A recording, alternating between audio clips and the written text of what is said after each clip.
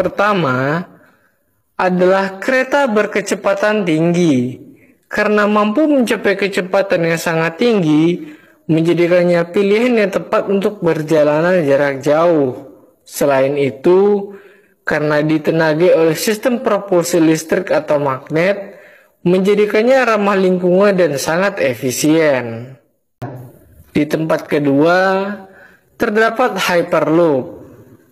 Hyperloop adalah model transportasi yang diusulkan yang akan menggunakan sistem tabung dan kapsul untuk memindahkan orang dan kargo dengan kecepatan yang sangat tinggi.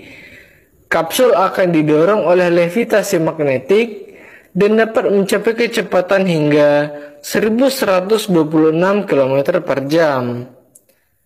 Di tempat ketiga, terdapat mobil terbang.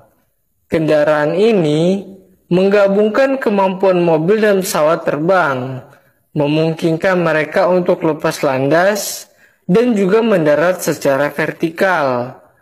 Mereka akan ditenagai oleh sistem propulsi listrik atau hybrid, menjadikannya sangat ramah lingkungan. Kendaraan ini akan sangat mengurangi kemacetan lalu lintas di jalan raya.